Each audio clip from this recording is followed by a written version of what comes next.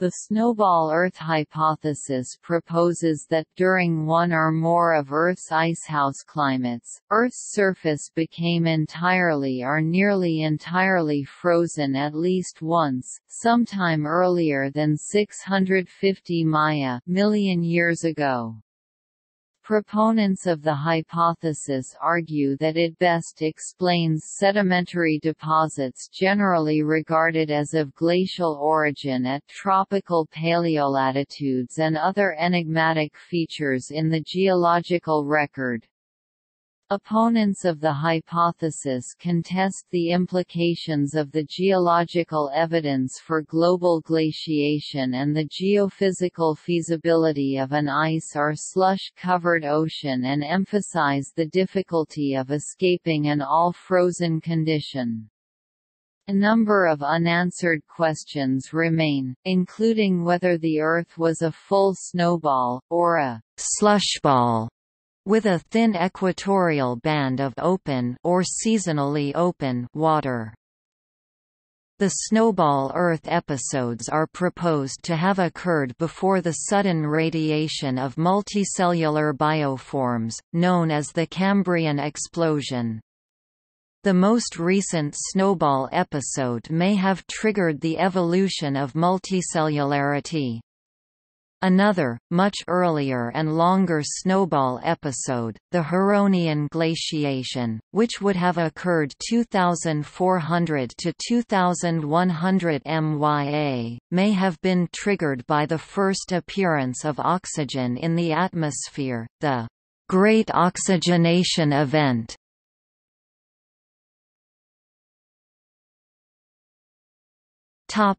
History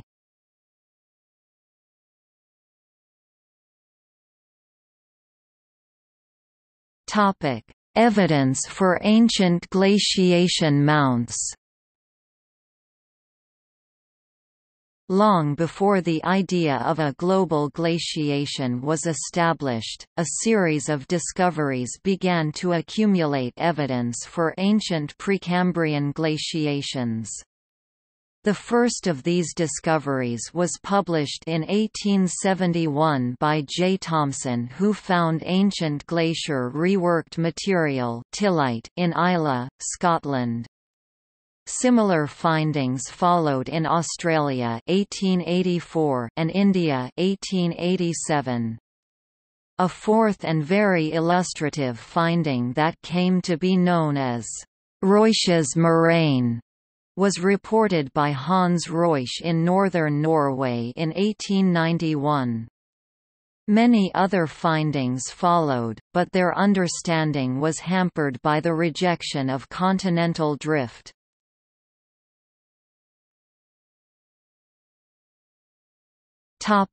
Global glaciation proposed Sir Douglas Mawson (1882–1958), an Australian geologist and Antarctic explorer, spent much of his career studying the Neoproterozoic stratigraphy of South Australia, where he identified thick and extensive glacial sediments and late in his career speculated about the possibility of global glaciation. Mawson's ideas of global glaciation however, were based on the mistaken assumption that the geographic position of Australia, and that of other continents where low-latitude glacial deposits are found, has remained constant through time. With the advancement of the continental drift hypothesis, and eventually plate tectonic theory, came an easier explanation for the glaciogenic sediments, they were deposited at a point in time when the continents were at higher latitudes. In 1964, the idea of global-scale glaciation re-emerged when W. Brian Harland published a paper in which he presented paleomagnetic data showing that glacial tillites in Svalbard and Greenland were deposited at tropical latitudes. From this paleomagnetic data, and the sedimentological evidence that the glacial sediments interrupt successions of rocks commonly associated with tropical to temperate latitudes, he argued for an ice age that was so extreme that it resulted in the deposition of marine glacial rocks in the tropics. In the 1960s, Mikhail Budyko, a Russian climatologist, developed a simple energy balance climate model to investigate the effect of ice cover on global climate. Using this model, Budyko found that if ice sheets advanced far enough out of the polar regions, a feedback loop ensued where the increased reflectiveness albedo of the ice led to further cooling and the formation of more ice, until the entire Earth was covered in ice and stabilized in a new ice-covered equilibrium. While Budyko's model showed that this ice albedo stability could happen, he concluded that it had in fact never happened, because his model offered no way to escape from such a feedback loop.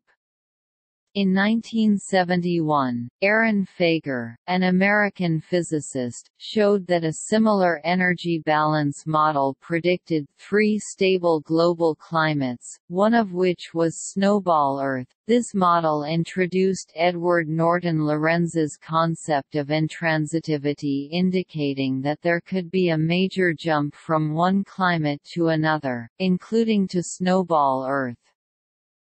The term, snowball Earth, was coined by Joseph Kirschvink in a short paper published in 1992 within a lengthy volume concerning the biology of the Proterozoic eon. The major contributions from this work were, 1, the recognition that the presence of banded iron formations is consistent with such a global glacial episode, and 2, the introduction of a mechanism by which to escape from a completely ice-covered Earth, Specifically, the accumulation of CO2 from volcanic outgassing leading to an ultra-greenhouse effect. Franklin van Houten's discovery of a consistent geological pattern in which lake levels rose and fell is now known as the Van Houten cycle.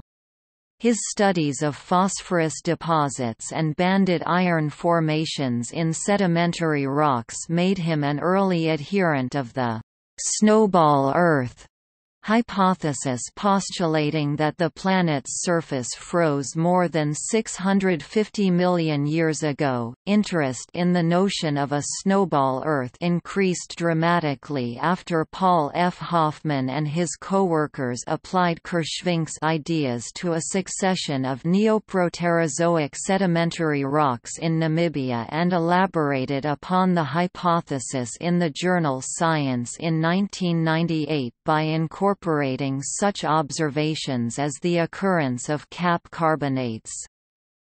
In 2010, Francis Macdonald reported evidence that Rodinia was at equatorial latitude during the Cryogenian period with glacial ice at or below sea level, and that the associated Sturtian glaciation was global.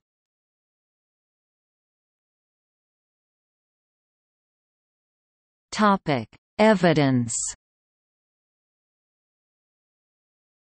The snowball Earth hypothesis was originally devised to explain geological evidence for the apparent presence of glaciers at tropical latitudes. According to modeling, an ice albedo feedback would result in glacial ice rapidly advancing to the equator once the glaciers spread to within 25 degrees to 30 degrees of the equator. Therefore, the presence of glacial deposits within the tropics suggests global ice cover. Critical to an assessment of the validity of the theory, therefore, is an understanding of the reliability and significance of the evidence that led to the belief that ice ever reached the tropics. This evidence must prove two things that a bed contains sedimentary structures that could have been created only by glacial activity, that the bed lay within the tropics when it was deposited. During a period of global glaciation, it must also be demonstrated that glaciers were active at different global locations at the same time, and that no other deposits of the same age are in existence. This last point is very difficult to prove. Before the Ediacaran, the biostratigraphic markers usually used to correlate rocks are absent, therefore there is no way to prove that rocks in different places across the globe were deposited at precisely the same time. The best that can be done is to estimate the age of the rocks using radiometric methods, which are rarely accurate to better than a million years or so. The first two points are often the source of contention on a case-to-case basis. Many glacial features can also be created by non-glacial means, and estimating the approximate latitudes of landmasses even as recently as 200 million years ago can be riddled with difficulties.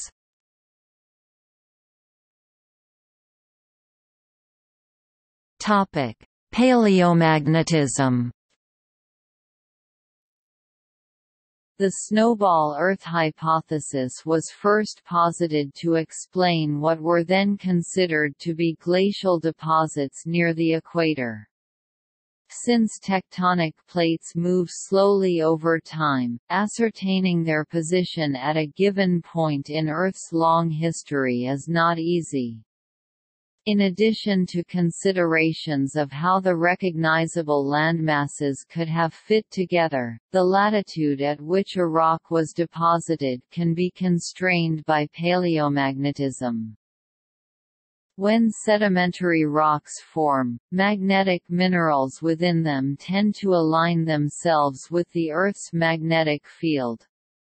Through the precise measurement of this paleomagnetism, it is possible to estimate the latitude, but not the longitude, where the rock matrix was formed. Paleomagnetic measurements have indicated that some sediments of glacial origin in the Neoproterozoic rock record were deposited within 10 degrees of the equator, although the accuracy of this reconstruction is in question. This paleomagnetic location of apparently glacial sediments such as dropstones has been taken to suggest that glaciers extended from land to sea level in tropical latitudes at the time the sediments were deposited.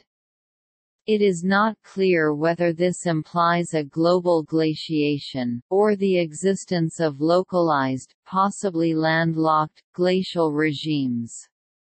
Others have even suggested that most data do not constrain any glacial deposits to within 25 degrees of the equator. Skeptics suggest that the paleomagnetic data could be corrupted if Earth's ancient magnetic field was substantially different from today's. Depending on the rate of cooling of Earth's core, it is possible that during the Proterozoic, the magnetic field did not approximate a simple dipolar distribution, with north and south magnetic poles roughly aligning with the planet's axis as they do today. Instead, a hotter core may have circulated more vigorously and given rise to four, eight or more poles. Paleomagnetic data would then have to be reinterpreted, as the sedimentary minerals could have aligned pointing to a west pole rather than the North Pole. Alternatively, Earth's dipolar field could have been oriented such that the poles were close to the equator. This hypothesis has been posited to explain the extraordinarily rapid motion of the magnetic poles implied by the Ediacaran paleomagnetic record. The alleged motion of the North Pole would occur around the same time as the Gaskiers glaciation. Another weakness of reliance on paleomagnetic data is the difficulty in determining whether the magnetic signal recorded as original, or whether it has been reset by later activity. For example, a mountain-building orogeny releases hot water as a byproduct of metamorphic reactions. This water can circulate to rocks thousands of kilometers away and reset their magnetic signature. This makes the authenticity of rocks older than a few million years difficult to determine without painstaking mineralogical observations. Moreover, further evidence is accumulating that large-scale remagnetization events have taken place which may necessitate revision of the estimated positions of the paleomagnetic poles. There is currently only one deposit, the Elatina deposit of Australia, that was indubitably deposited at low latitudes. Its depositional date is well constrained, and the signal is demonstrably original.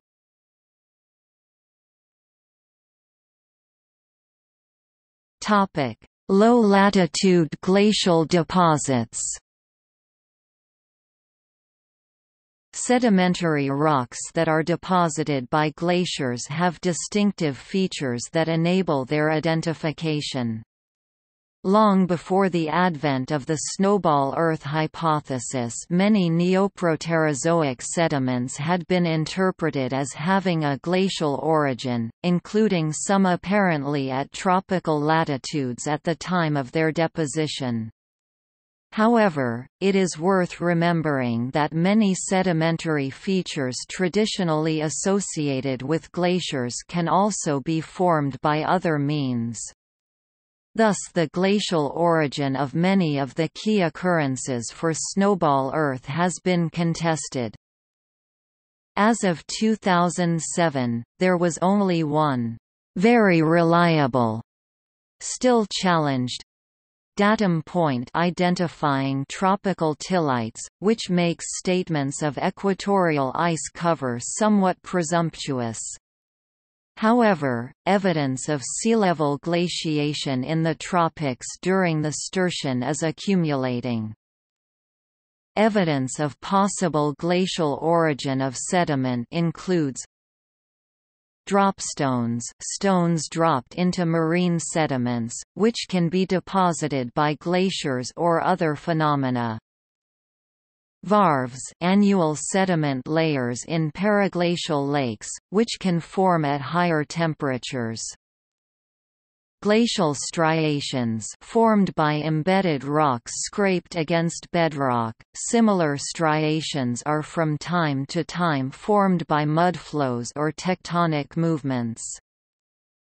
Diamictites poorly sorted conglomerates Originally described as glacial till, most were in fact formed by debris flows.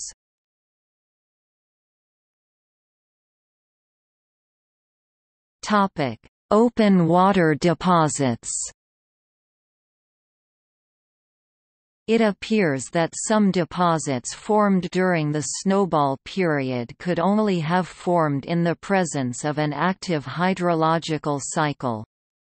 Bands of glacial deposits up to 5,500 meters thick, separated by small meters bands of non-glacial sediments, demonstrate that glaciers melted and reformed repeatedly for tens of millions of years. Solid oceans would not permit this scale of deposition.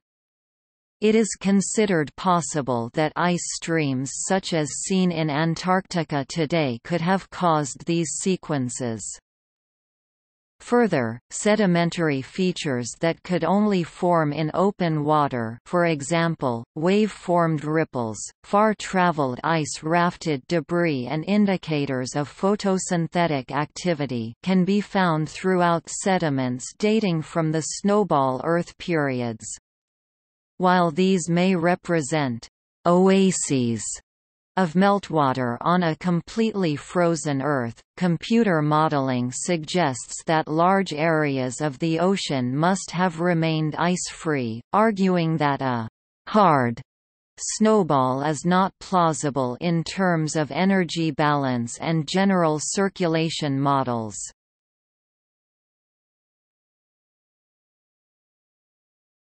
Carbon isotope ratios There are two stable isotopes of carbon in seawater, carbon-12 12C and the rare carbon-13 13C, which makes up about 1.109% of carbon atoms.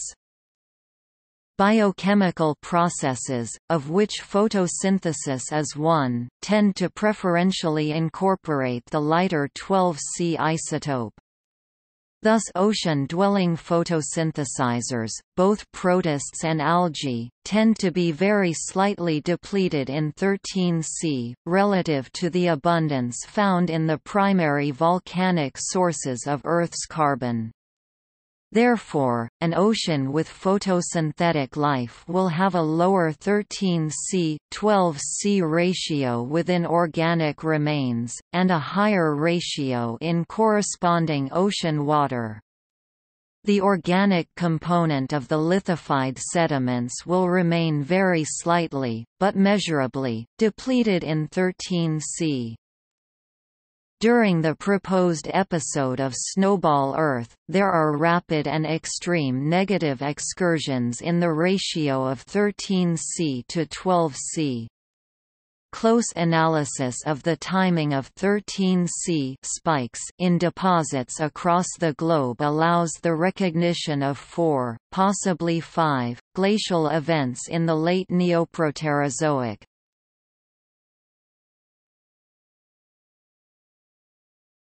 Topic: Banded iron formations.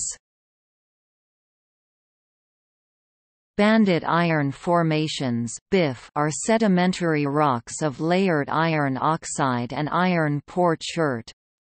In the presence of oxygen, iron naturally rusts and becomes insoluble in water.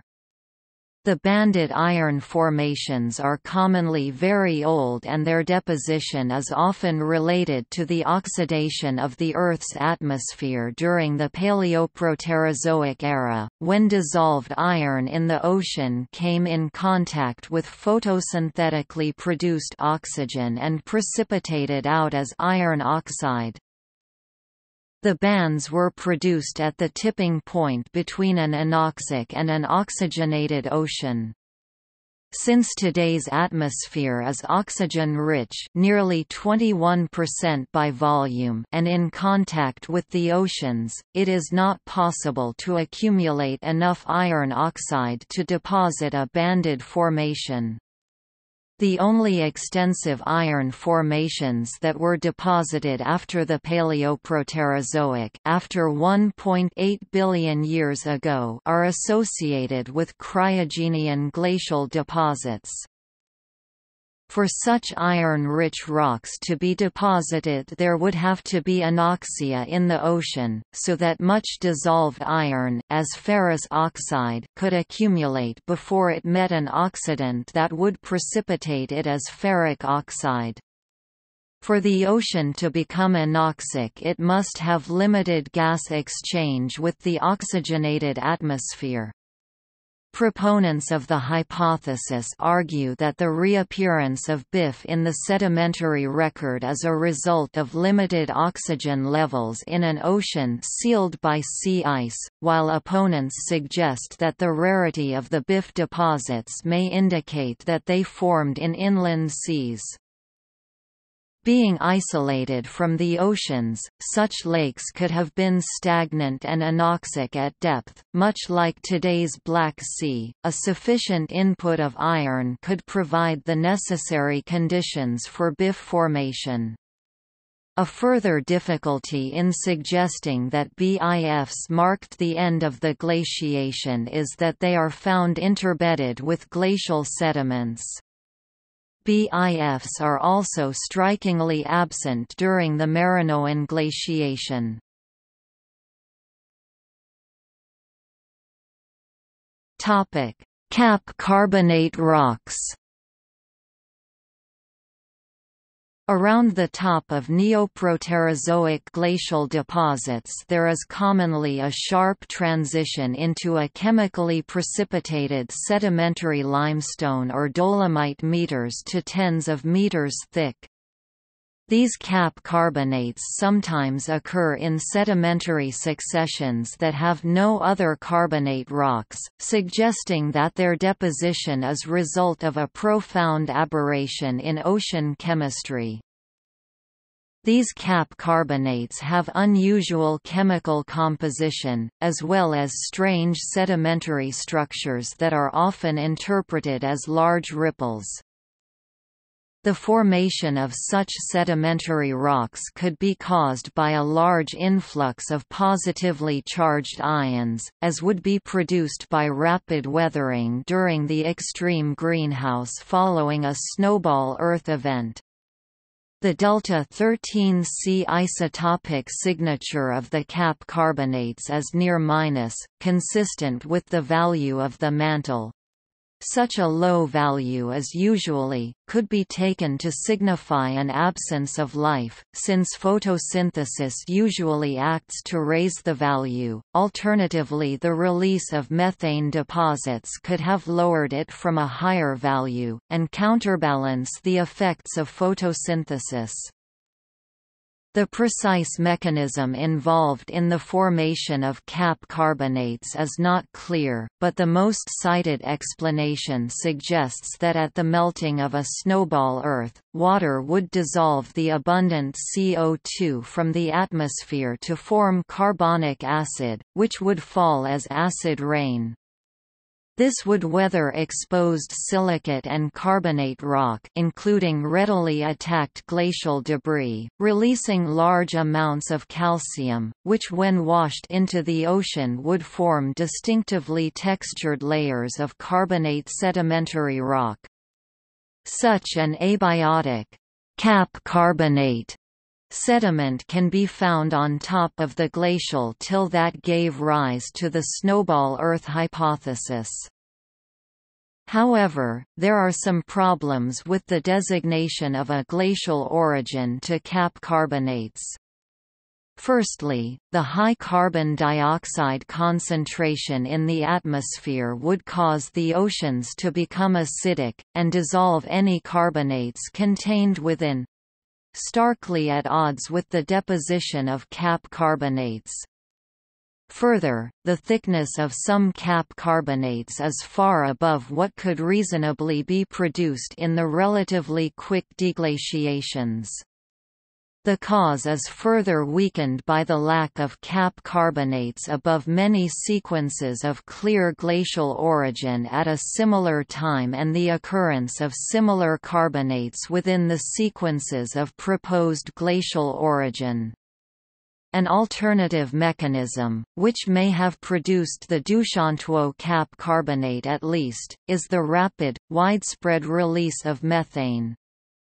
This accounts for incredibly low as low as minus delta 13 C values as well as unusual sedimentary features which appear to have been formed by the flow of gas through the sediments.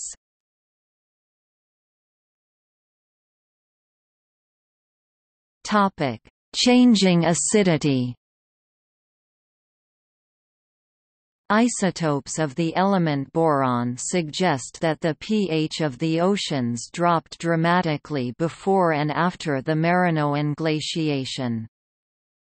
This may indicate a buildup of carbon dioxide in the atmosphere, some of which would dissolve into the oceans to form carbonic acid. Although the boron variations may be evidence of extreme climate change, they need not imply a global glaciation.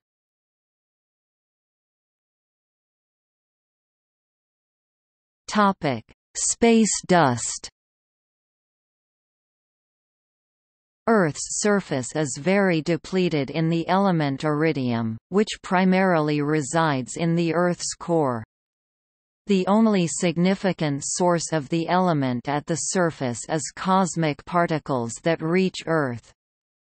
During a snowball Earth, iridium would accumulate on the ice sheets, and when the ice melted the resulting layer of sediment would be rich in iridium. An iridium anomaly has been discovered at the base of the cap carbonate formations, and has been used to suggest that the glacial episode lasted for at least 3 million years, but this does not necessarily imply a global extent to the glaciation. Indeed, a similar anomaly could be explained by the impact of a large meteorite.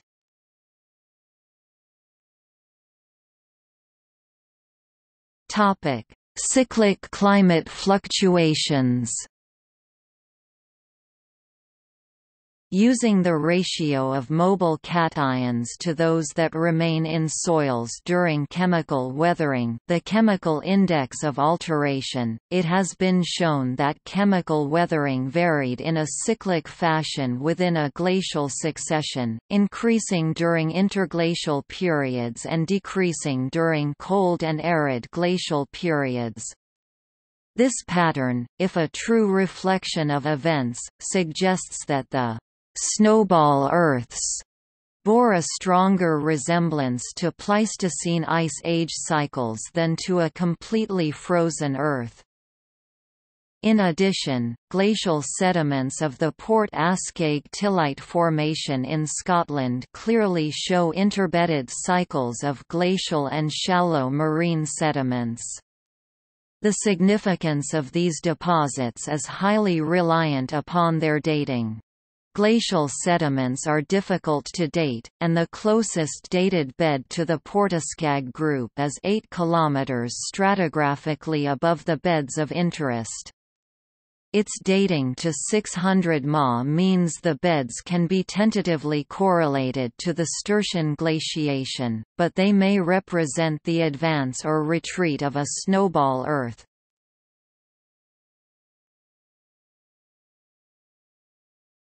Topic: Mechanisms. The initiation of a snowball Earth event would involve some initial cooling mechanism, which would result in an increase in Earth's coverage of snow and ice.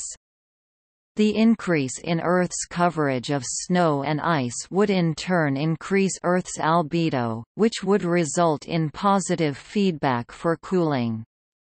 If enough snow and ice accumulates, runaway cooling would result. This positive feedback is facilitated by an equatorial continental distribution, which would allow ice to accumulate in the regions closer to the equator, where solar radiation is most direct. Many possible triggering mechanisms could account for the beginning of a snowball Earth, such as the eruption of a supervolcano, a reduction in the atmospheric concentration of greenhouse gases such as methane and or carbon dioxide, changes in solar energy output, or perturbations of Earth's orbit.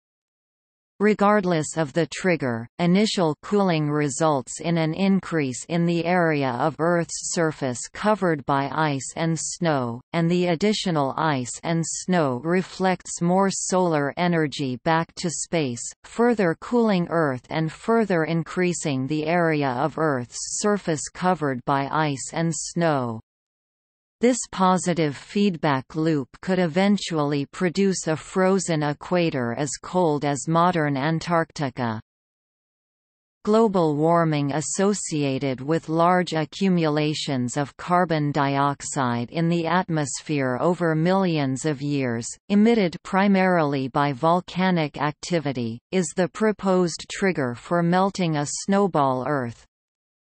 Due to positive feedback for melting, the eventual melting of the snow and ice covering most of Earth's surface would require as little as a millennium.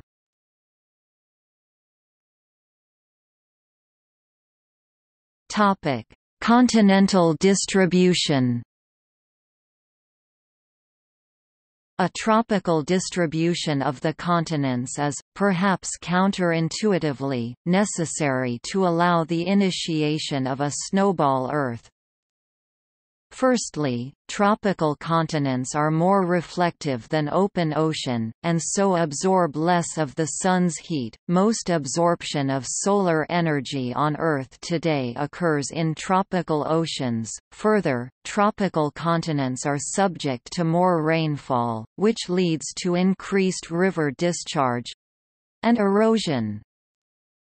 When exposed to air, silicate rocks undergo weathering reactions which remove carbon dioxide from the atmosphere.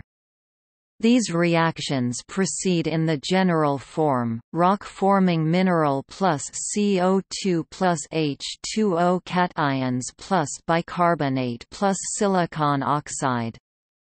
An example of such a reaction is the weathering of wollastonite, calcium metasilicate plus 2CO2 plus H2OCa2 plus plus silicon oxide plus 2HCO3 minus the released calcium cations react with the dissolved bicarbonate in the ocean to form calcium carbonate as a chemically precipitated sedimentary rock.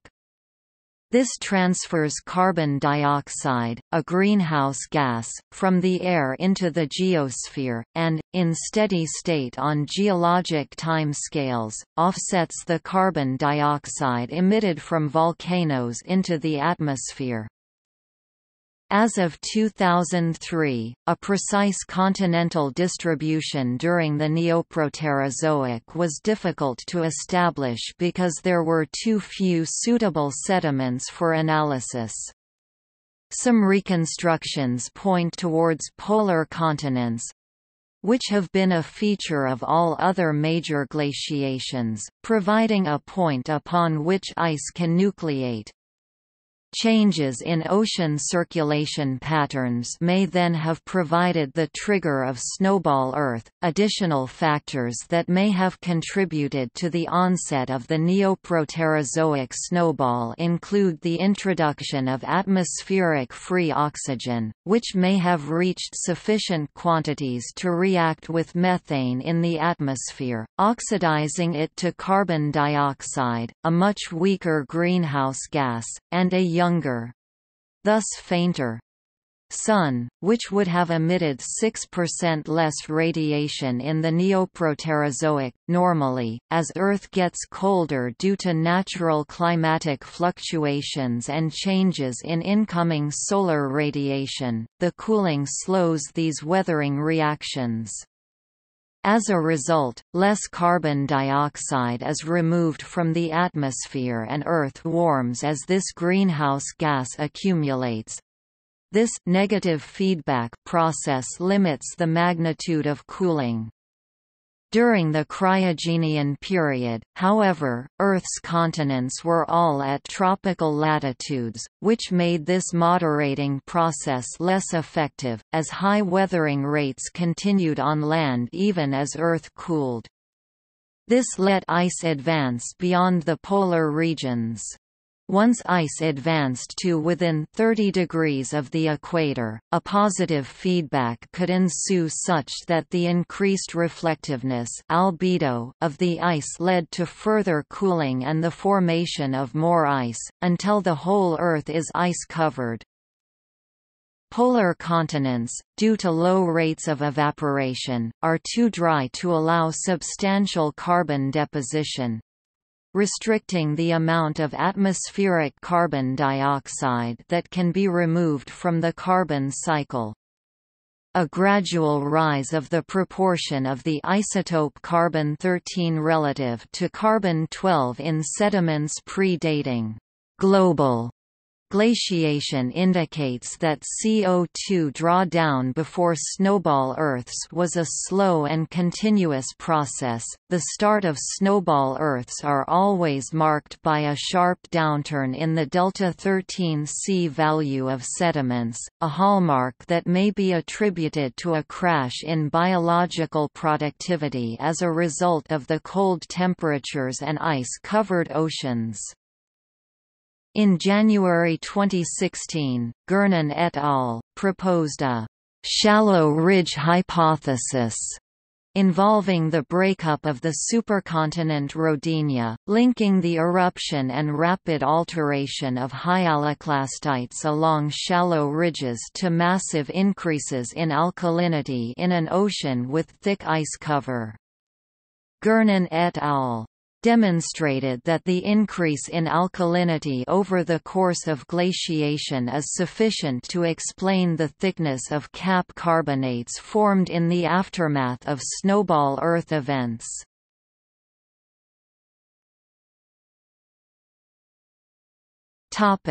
During the frozen period Global temperature fell so low that the equator was as cold as modern-day Antarctica. This low temperature was maintained by the high albedo of the ice sheets, which reflected most incoming solar energy into space. A lack of heat-retaining clouds, caused by water vapor freezing out of the atmosphere, amplified this effect.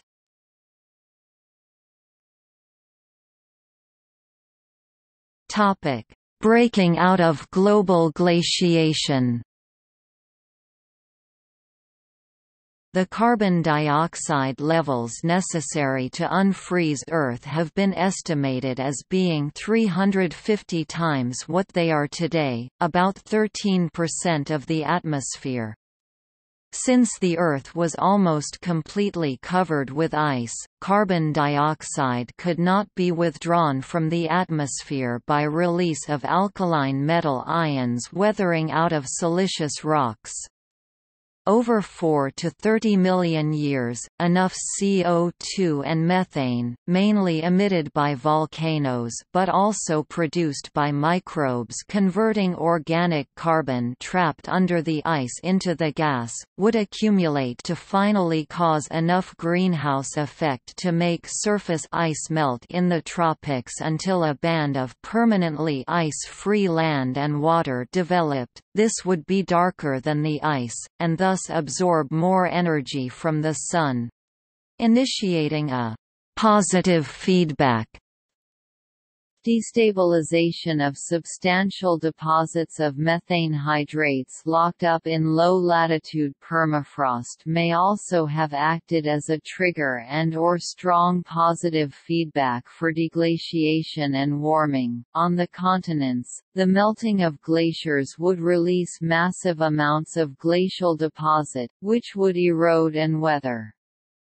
The resulting sediments supplied to the ocean would be high in nutrients such as phosphorus, which combined with the abundance of CO2 would trigger a cyanobacteria population explosion, which would cause a relatively rapid reoxygenation of the atmosphere, which may have contributed to the rise of the Ediacaran biota and the subsequent Cambrian explosion a higher oxygen concentration allowing large multicellular lifeforms to develop. Although the positive feedback loop would melt the ice in geological short order, perhaps less than 1,000 years, replenishment of atmospheric oxygen and depletion of the CO2 levels would take further millennia. It is possible that carbon dioxide levels fell enough for Earth to freeze again. This cycle may have repeated until the continents had drifted to more polar latitudes. More recent evidence suggests that with colder oceanic temperatures, the resulting higher ability of the oceans to dissolve gases led to the carbon content of seawater being more quickly oxidized to carbon dioxide dioxide. This leads directly to an increase of atmospheric carbon dioxide, enhanced greenhouse warming of Earth's surface, and the prevention of a total snowball state. During millions of years, cryoconite would have accumulated on and inside the ice. Psychrophilic microorganisms, volcanic ash and dust from ice-free locations would settle on ice covering several million square kilometers.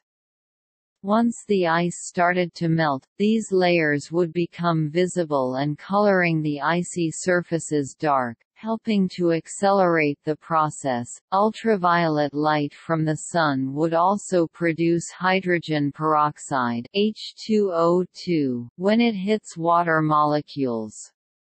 Normally hydrogen peroxide is broken down by sunlight, but some would have been trapped inside the ice. When the glaciers started to melt, it would have been released in both the ocean and the atmosphere, where it was split into water and oxygen molecules, leading to an increase in atmospheric oxygen.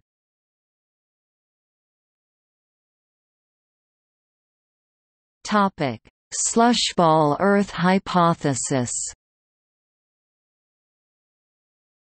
While the presence of glaciers is not disputed, the idea that the entire planet was covered in ice is more contentious, leading some scientists to posit a «slushball Earth» in which a band of ice-free, or ice-thin, waters remains around the equator, allowing for a continued hydrologic cycle.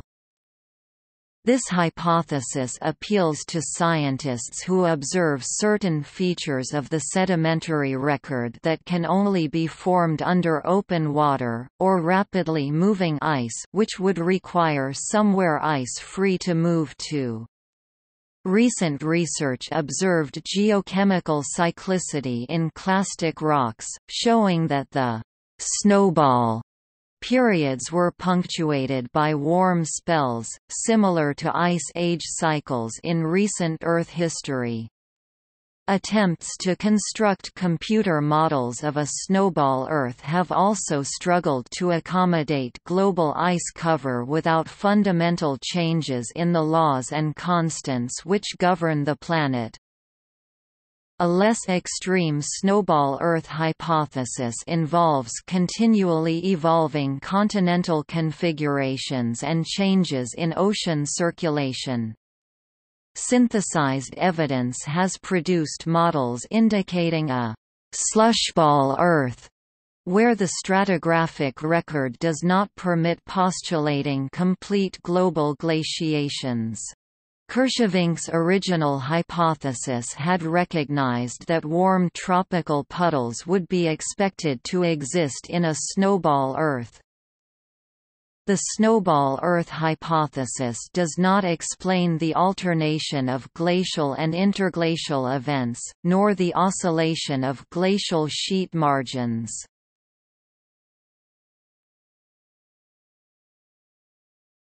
Topic: Scientific dispute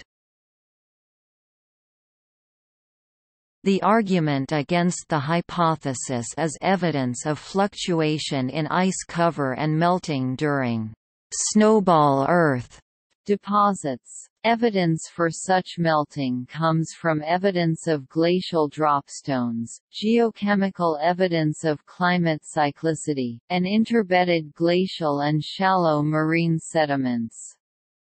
Longer record from Oman, constrained to 13 degrees north, covers the period from 712 to 545 million years ago. A time span containing the Sturtian and Marinoan glaciations, and shows both glacial and ice-free deposition. There have been difficulties in recreating a snowball Earth with global climate models. Simple GCMs with mixed-layer oceans can be made to freeze to the equator. A more sophisticated model with a full dynamic ocean, though only a primitive sea ice model, failed to form sea ice to the equator. In addition, the levels of CO2 necessary to melt a global ice cover have been calculated to be 130,000 ppm, which is considered by to be unreasonably large. Strontium isotopic data have been found to be at odds with proposed snowball Earth models of silicate weathering shutdown during glaciation and rapid rates immediately post-glaciation. Therefore, methane release from permafrost during marine transgression was proposed to be the source of the large measured carbon excursion in the time immediately after glaciation.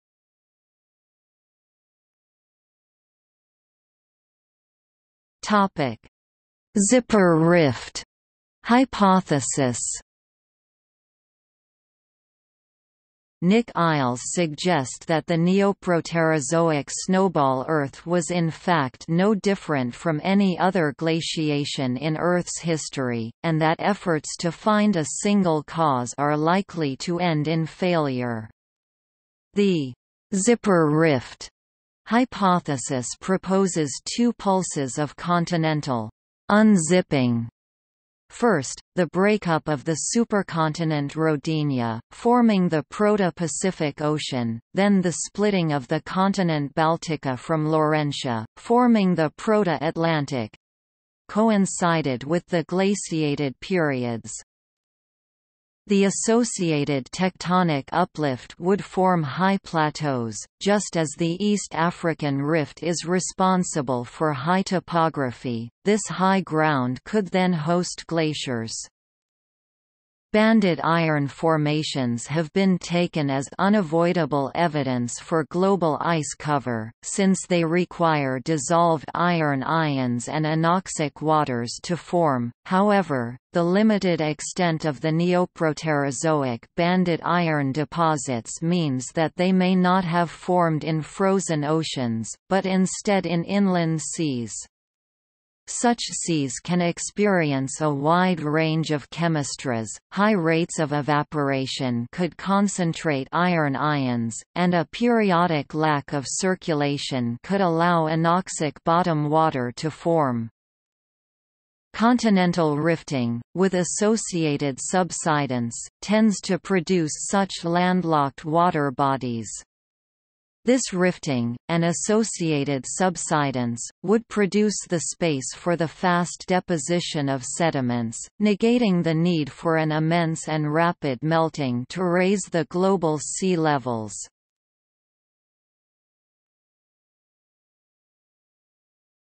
High obliquity hypothesis A competing hypothesis to explain the presence of ice on the equatorial continents was that Earth's axial tilt was quite high, in the vicinity of 60 degrees, which would place Earth's land in high latitudes, although supporting evidence is scarce. A less extreme possibility would be that it was merely Earth's magnetic pole that wandered to this inclination, as the magnetic readings which suggested ice-filled continents depends on the magnetic and rotational poles being relatively similar. In either of these two situations, the freeze would be limited to relatively small areas, as is the case today. Severe changes to Earth's climate are not necessary.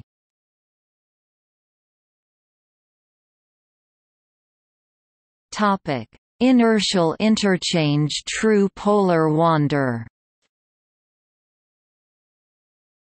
The evidence for low-latitude glacial deposits during the supposed snowball Earth episodes has been reinterpreted via the concept of inertial interchange true polar wander IITPW.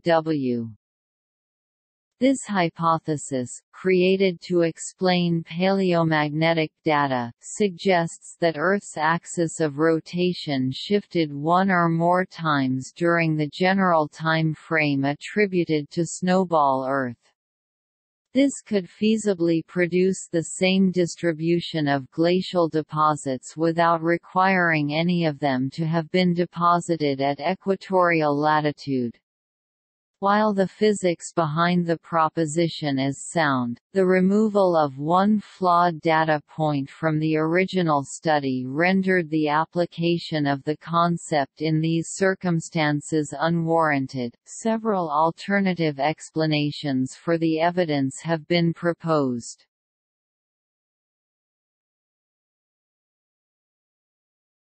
Topic: Survival of life through frozen periods. A tremendous glaciation would curtail photosynthetic life on Earth, thus depleting atmospheric oxygen, and thereby allowing non-oxidized iron-rich rocks to form. Detractors argue that this kind of glaciation would have made life extinct entirely. However, microfossils such as stromatolites and oncolites prove that, in shallow marine environments at least, life did not suffer any perturbation. Instead life developed a trophic complexity and survived the cold period unscathed. Proponents counter that it may have been possible for life to survive in these ways, in reservoirs of anaerobic and low-oxygen life powered by chemicals in deep oceanic hydrothermal vents surviving in Earth's deep oceans and crust, but photosynthesis would not have been possible there. Under the ice layer, in chemolithotrophic mineral metabolizing ecosystems theoretically resembling those in existence in modern glacier beds, high alpine and arctic talus permafrost, and basal glacial ice. This is especially plausible in areas of volcanism or geothermal activity. In pockets of liquid water within and under the ice caps, similar to Lake Vostok in Antarctica.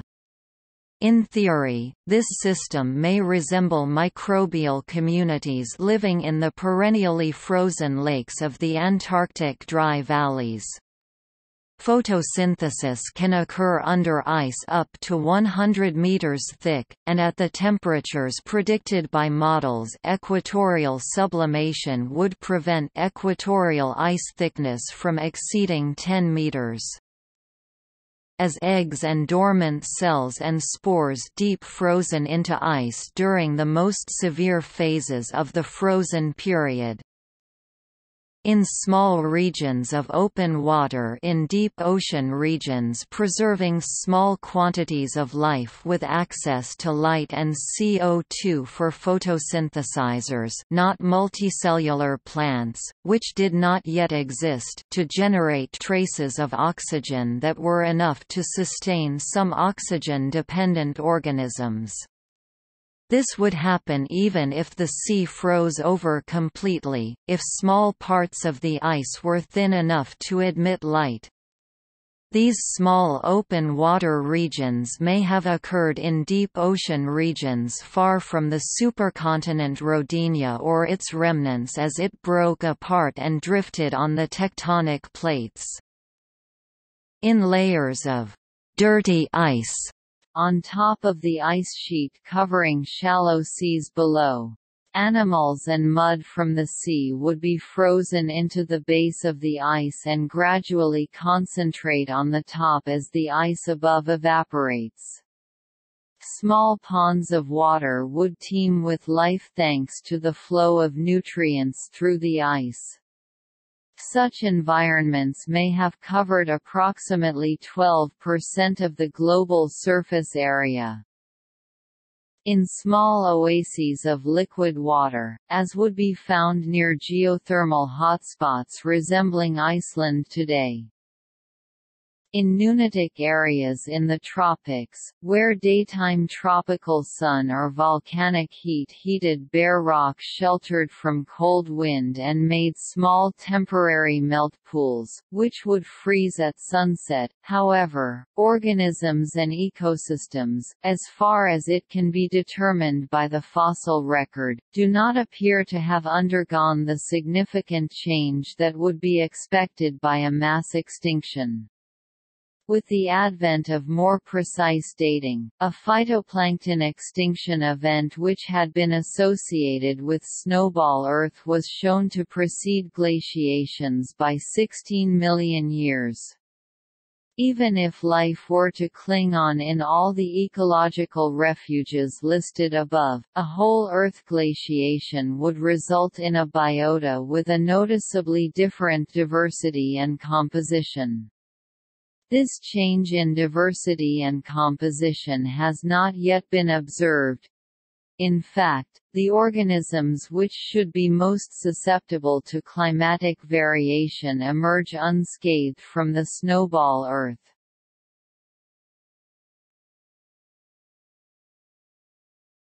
Topic: Implications A snowball Earth has profound implications in the history of life on Earth. While many refugia have been postulated, global ice cover would certainly have ravaged ecosystems dependent on sunlight. Geochemical evidence from rocks associated with low-latitude glacial deposits have been interpreted to show a crash in oceanic life during the glacials. Because about half of the ocean's water was frozen solid as ice, the remaining water would be twice as salty as it is today, lowering its freezing point. When the ice sheet melted, it would cover the oceans with a layer of hot freshwater up to 2 kilometers thick. Only after the hot surface water mixed with the colder and deeper saltwater did the sea return to a warmer and less salty state. The melting of the ice may have presented many new opportunities for diversification, and may indeed have driven the rapid evolution which took place at the end of the Cryogenian period.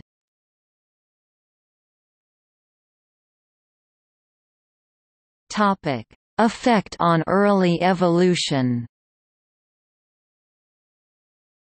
The Neoproterozoic was a time of remarkable diversification of multicellular organisms, including animals. Organism size and complexity increased considerably after the end of the snowball glaciations. This development of multicellular organisms may have been the result of increased evolutionary pressures resulting from multiple icehouse-hothouse cycles. In this sense, snowball Earth episodes may have pumped evolution. Alternatively, fluctuating nutrient levels and rising oxygen may have played a part. Another major glacial episode may have ended just a few million years before the Cambrian explosion. Mechanistically, the effect of snowball Earth in particular the later glaciations on complex life is likely to have occurred through the process of kin selection. Organ scale differentiation, in particular the terminal irreversible differentiation present in animals, requires the individual cell and the genes contained within it to «sacrifice» their ability to reproduce, so that the colony is not disrupted. From the short-term perspective of the gene, more offspring will be gained by causing the cell in which it is contained to ignore any signals received from the colony, and to reproduce at the maximum rate, regardless of the implications for the wider group. Today, this incentive explains the formation of tumors in animals and plants.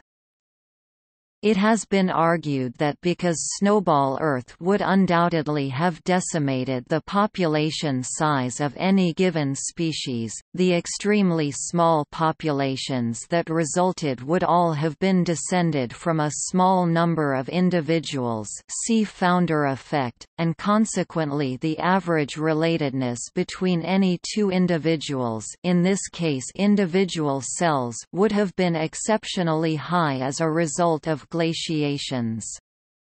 Altruism is known to increase from rarity when relatedness R exceeds the ratio of the cost C to the altruist, in this case, the cell giving up its own reproduction by differentiating, to the benefit B to the recipient of altruism, the germ line of the colony, that reproduces as a result of the differentiation, i.e. R greater than C, B see Hamilton's rule.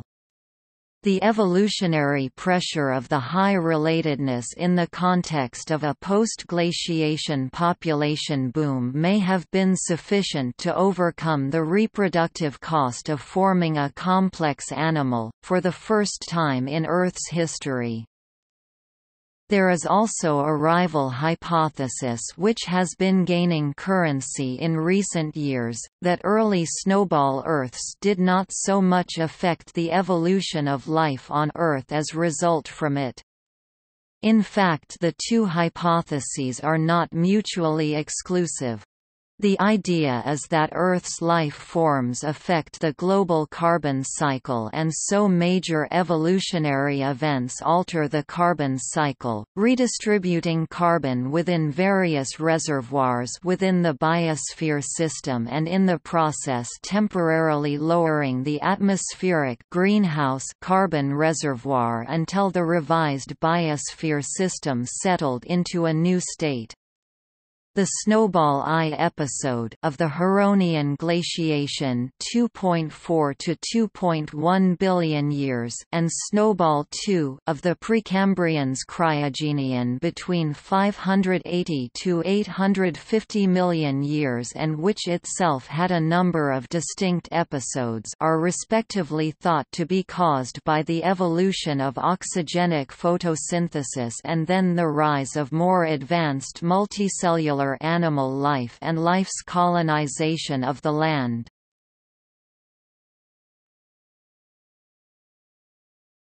Topic: Effects on ocean circulation.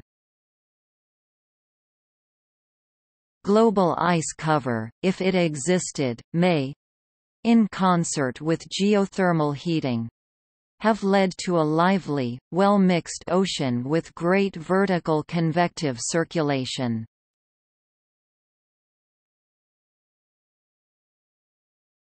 Topic: Occurrence and timing.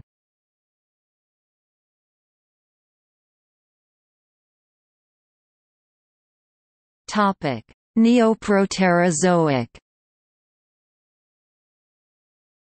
There were three or four significant ice ages during the late Neoproterozoic. Of these, the Marinoan was the most significant, and the Sturtian glaciations were also truly widespread.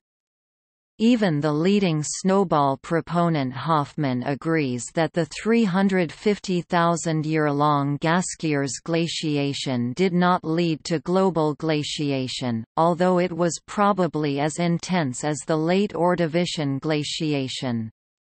The status of the Kaigas glaciation or cooling event is currently unclear. Some scientists do not recognize it as a glacial, others suspect that it may reflect poorly dated strata of Sturtian association, and others believe it may indeed be a third ice age. It was certainly less significant than the Sturtian or Marinoan glaciations, and probably not global in extent. Emerging evidence suggests that the Earth underwent a number of glaciations during the Neoproterozoic, which would stand strongly at odds with the snowball hypothesis.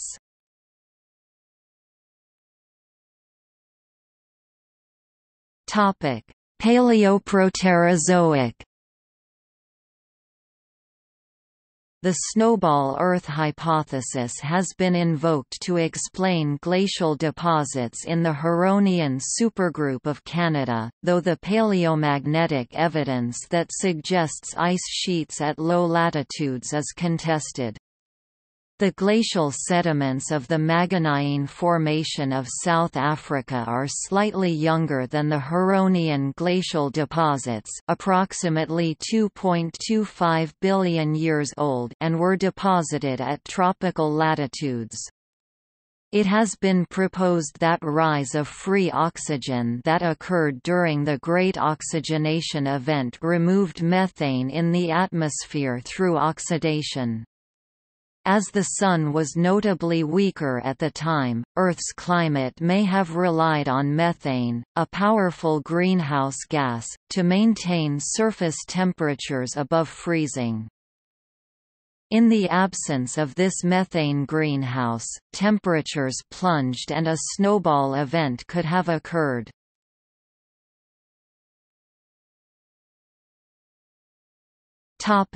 Karoo Ice Age Before the theory of continental drift, glacial deposits in Carboniferous strata in tropical continents areas such as India and South America led to speculation that the Karoo Ice Age glaciation reached into the tropics. However, a continental reconstruction shows that ice was in fact constrained to the polar parts of the supercontinent Gondwana. See also